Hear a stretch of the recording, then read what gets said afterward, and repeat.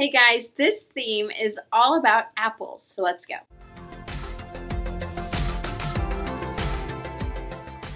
Okay, the first activity takes a little bit of setup because you have to set up targets for the children to roll an apple onto. You will set up different points or different shaped targets, and the children will take turns rolling apples to see if they can get their apple into a target. Now, you can just play it where they roll the apple to see if they can reach the target, or you can keep points by putting points in the different targets.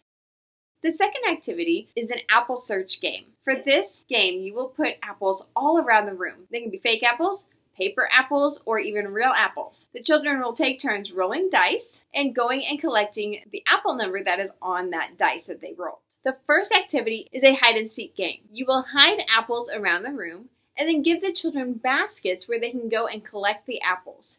You can do this ahead of time before the children are there, or have the children close their eyes while you hide apples. Once the apples are all collected, you can play again or count how many apples and see who the winner of the game is. The second activity is to have red, yellow, and green paper on a table, along with many different types of apples. Your child will sort the apples based on their color. If they have more than one color on the skin of the apple, then you can have them sorted based on the color that is more prominent. The first activity is kind of a fun activity and you will need a lot of space. For this activity, you will have maybe a long hallway or a gym, something that's open that the children can roll apples onto. You will have the children roll an apple as far as they can and try to roll their apple the farthest. The second activity is a size sorting game. You will give the children as many different sized apples as you can, and the children will sort them either from largest to smallest or smallest to largest. Our first art activity idea is to just paint with an apple. Now, this can get a little messy,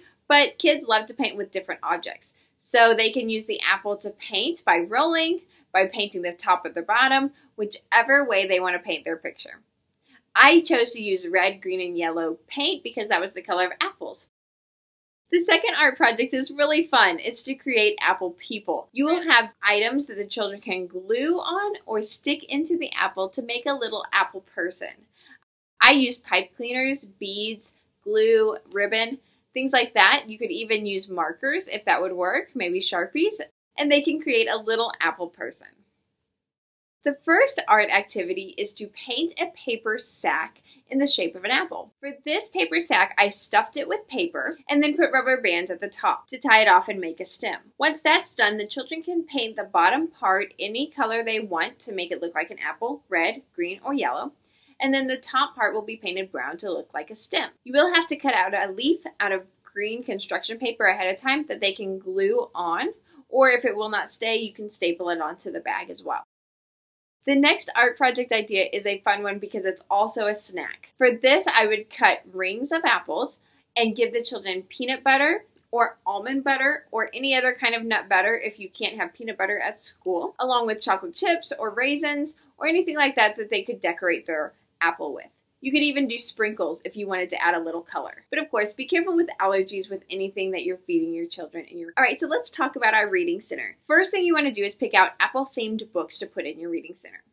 And then if you have the ability to create some sort of apple tree in maybe the corner of a room for them to sit under while they read their stories. You can easily make a paper apple tree by using brown and green paper and sticking it onto a wall behind the students. Next, for your writing center, you can have paper apples already cut out and then green, yellow, and red paper taped to the wall. Once the child goes into that center, they will color the apple in the color that they want red, green, or yellow.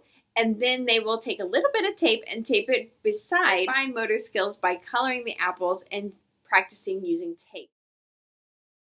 For your block center, you can place real apples into the block center and have them practice stacking them to see how many apples they can stack on top of each other. It's actually really hard to do, and the children will have fun practicing and trying to get those stacks of apples made. For the home center, I would place apples a little bowl of water and maybe some towels or washcloths in the home center. They can take the apples and wash them in maybe the sink or just in a little tub or bowl. It also might be fun to have a little plate of apple slices that the children can eat while they're in the home center. Our first idea is to create a sensory box. For this box, you will put apples along with other items into the box. The children will have to take turns reaching into the box and trying to find the apple. You can do this with them, or if you have a box where you can cover and let their hand just go in the apple without them seeing what's inside, they could do it on their own. The second idea is to make applesauce in your classroom. Now, there are many different recipes online that you could find on how to make applesauce. For this idea, I would do it using a crock pot so that you could use it in your classroom. Now, you have to be very careful. Make sure the crock pot is out of the reach of the children, but make it with the children. Turn it on somewhere safe in the classroom where the children cannot reach it. And then the smells as it's cooking throughout the day will fill your classroom and it'll smell really, really good. And then once it's done, the children can taste test their applesauce that they helped you make. I hope you enjoy those and you can use them in your classroom or at home. Don't forget to like this video and subscribe to the channel, and I will see you in our next video. Bye.